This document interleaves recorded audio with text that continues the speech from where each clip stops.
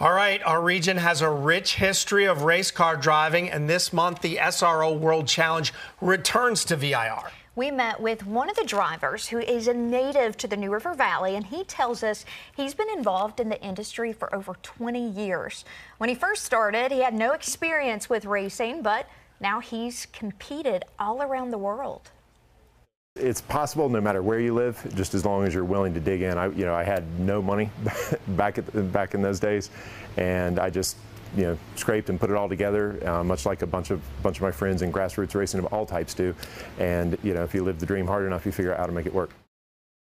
SRO provides some of the best GT racing in America with more than 100 competitors expected at this event.